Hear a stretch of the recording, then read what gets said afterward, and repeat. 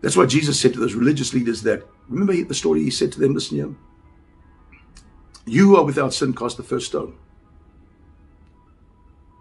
There were two things he was saying. Number one, you've accused this woman. In those in that culture, you had to participate in the sentence as well, which was killing them. You throw the first stone. Number two, after he said to the, the, the young lady, he said, um, who was caught in the very act of adultery, he said to her, Is there none to condemn you? And she said, None, my Lord. She accepted him. He said, Go, sin no more. Didn't give her a lecture, didn't go off on a whole tangent. But then he calls the leadership back to him. The guys that had caught her in the sin. And he says these words. It's after he'd written this, and you know the story, but very few Christians read the next verse. Jesus calls them back to him and he says, quote, You judge according to your flesh, but I judge no one. That's Jesus talking, but I judge no one. But if I do judge, my judgment is true. For I and my Father are one. Jesus did nothing but that he saw his Father do. In other words, that's why he could sit with sinners and be unbiased and unprejudiced. Simply because he never looked at them through the eyes of a fallen man. And I'm evil because you're evil. Because you will judge me if you don't have the spirit of truth and discernment, or if it is lacking or he is lacking in your life. Then you will judge me by observation you will judge me by external matters, which is very, very dangerous, or you will judge me by the hearing of your ears, which is one thing Jesus never did, and any true spiritual man or woman will never do, especially those who claim to be prophetic and apostolic. Now, I was not prepared to go back down to PE. I wanted to find my children. So now I'm seen as rebellious and disobedient and blah, blah. Okay, fine. So now I have to ask this question. The Holy Spirit, is he not the Spirit of truth? And if the Holy Spirit is the Spirit of truth, how is it possible that the entire leadership in the body of Christ that I was affiliated or associated with will not even speak to me? Because they believed a lie. They weren't interested in evidence. They weren't interested in anything I had to say. All they wanted to do was heal me and find out my sin. and they believed the lie. Now, the reason why I'm harping on it is this. Now, I love these men. I really do. I love Neville. He's a great man of God. I love Peter Defin. I love Kenneth Mitchell. I love these men. Mark Hodges. He was my Bible college teacher. I love these guys. And I'm not just addressing them only. I'm addressing the entire body of Christ, the leadership. Not everybody, because not everybody falls into the spectrum. There are names that God has given me that I will sit with for my restoration when the time is right. He gave me the names right in the beginning. Now, if you cannot apply discipline like you should have applied discipline according to scripture with Harold and Maud Weitz, the chances are Mick might still be alive because I would have been able to get to her to pray for her. Yeah? To lay my hands on her. To help her with the prophecy I gave her four years before that. And there was one part she left out of that prophecy. In the prophecy, many of you that know Mick you knew that she was praying that prophecy every day. But there was a part she left out. And in that prophecy, I said, You're not to leave this man's side. Now, let me say this. When leadership in the church, number one, cannot apply discipline according to scripture correctly as the Holy Spirit leads, because remember, the Bible is full of paradoxes. So you can't just take a scripture and say, I'm going to apply that to the situation. You need to be led by the Holy Spirit because in the in the beginning I said 2 Corinthians chapter 3, there's a ministry of condemnation, which is a satanic ministry, which is based on the letter, and the letter kills.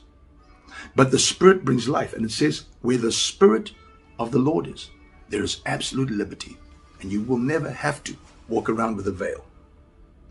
Now, what does it mean in the Greek? It means where the Holy Spirit of truth is Lord in the church. Christ is head, Lord over the church. But in the church, Holy Spirit is Lord, and we are to be led by Him, because He speaks not of His own, but He speaks only what the Lord allows Him and tells Him to say. Now, you are unable as gatekeepers. You are disqualified from protecting the city and protecting the people, saved, unsaved alike, and a nation at the end of the day, collectively, if you cannot apply discipline correctly.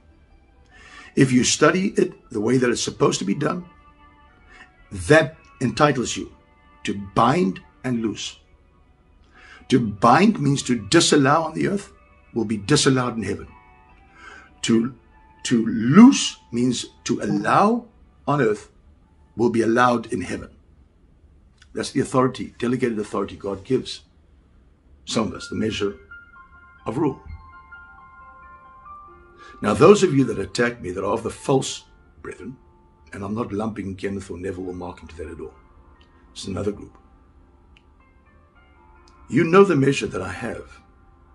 You arrived in the Spirit.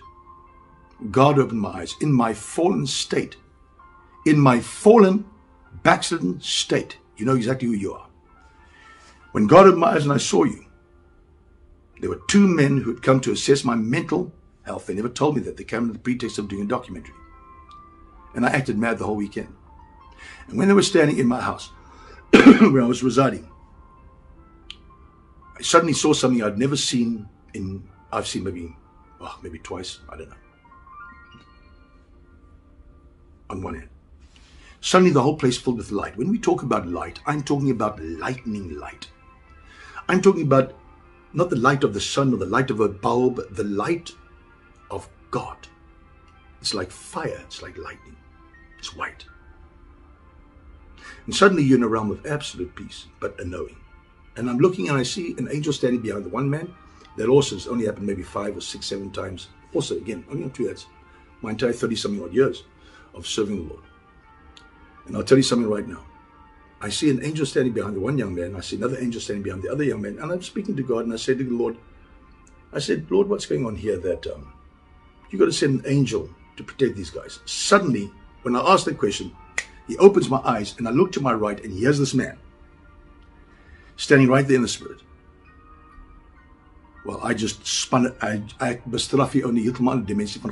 I rebuke the man into another dimension of religion. Now, he's part of this whole crowd. I'm not allowed to mention his name either. There's about four or five of them. I, I can't mention the name, otherwise, a warrant of arrest will be released, and executed. But the fact, the fact of the matter is this I know that I know that I know that I know by the Spirit who's false and who's not. But I speak to the false prophets. You know my measure. You know my measure. And therefore, I want you to know that I will deal with you Yes, I will. Now, please don't take this. And now go and run to some magistrate and some lawyer and go there and confuse the poor thing. And then she signs, or he signs, or they sign some document that's the biggest phony and the biggest lot of rubbish you've ever heard in your life. I'm not threatening you. I'm telling you by the Spirit of God, by the Holy Spirit that you claim to serve. We'll see when we face to face. We will find out exactly mm-hmm. By what power you operate and by what power I operate. So I've blasphemed, apparently. The reason why they make that statement is because most Christians don't even know what it means. Now, how is it possible that all the leadership could believe a narrative that was spun by these evil people to destroy me, right? And claim to have the Holy Spirit leading and guiding them? The Holy Spirit is a spirit of truth. So the very first question I want to question the leadership around the world that was associated with me that knew me, all of you. How is it possible that you would bow your knee to someone that you claim has great authority and great power, and yet not one of you has spoken to me? How do you make a judgment call like that and call to yourself a leader? Sal julle bestraf. I will rebuke you. Wait until I get a hold of you. I love you, and I'm not against you, and God will not deal with you severely. I've I've prayed for you. I really have. Hi, people. So easy to judge and when you don't know what's going on. The ones that will pay the price, though, are the false prophets and Harold and Maude. And Tiens, the, the guys that aligned themselves with them, that were heavy. The rest, I forgave long time ago, and I love them. You'll come back, you'll come around. I'll embrace you, take you in my arms, just love you. Some of you I'll actually look after. Can't say the same for you, but I'll actually look after some of you. God showed me that many years ago flying around over New York. There's a lot I haven't shared, people, but I'm going to open up the taps during this time together. Now, not this session, but unfold it gradually, gradually. It begs a question. I have to find out what spirit is leading the people in the church. If you can believe a lie and say the lie is truth, and say the truth is a lie, then I know in relation to the time that we are in right now, the last of the last days, according to thus saith God, okay? From 2012 onwards, we crossed that invisible prophetic line. And the very first thing that Jesus said, and just about every scripture that alludes to this time, the end times, right at the end of the end, speaks of a massive deception that will take place. Even Jesus warned about it. See to it that you be not deceived. And that word deception then means a delusion that no amount of truth, no amount of fact, no amount of evidence will sway them. Right, that's the first thing. I had people repenting yesterday, asking me to forgive them. I sent them a message. I've had people that really attacked me come and repent. I just said, look, I, I write it. I say, there's nothing for me to forgive you for. I have nothing against anybody in the body of Christ. Nothing. Only love. However, I must deal with those that started this war of words that has caused tremendous calamity and catastrophe in the lives of many believers. None of which I, I get the blame for. Now, I'm used to it. Speak on behalf of God. Nobody ever goes and complains to God and shouts at him, then they come against me. All right, now.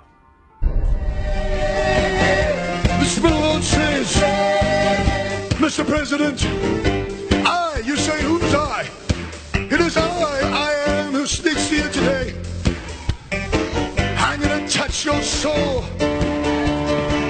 I'm to touch you, if you respond to me in the way that I've declared to you, I'll give you victory. But if you don't, if you don't, Mr. President, you will discover that I will invade this land, and then I will remove you speedily. Time's up. Tick tock, tick tock, tick tock. Those who have declared themselves lords and said that they would lord it over the people, shall not be so. I shall remove you, even in South Africa. I shall remove one speedily. This land is my land, says the Lord. I told you, Mr. Zuma.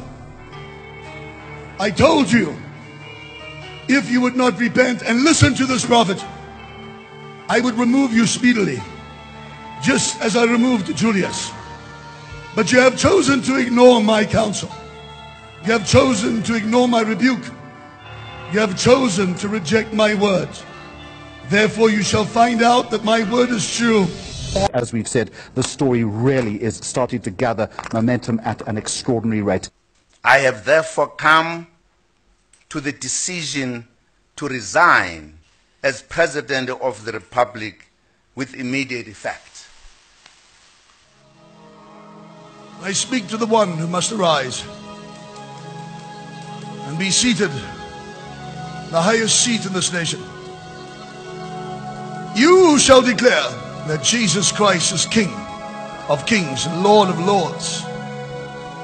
Yes, you who listen to this word, for this word shall be brought to your ears, and you shall know who I speak of.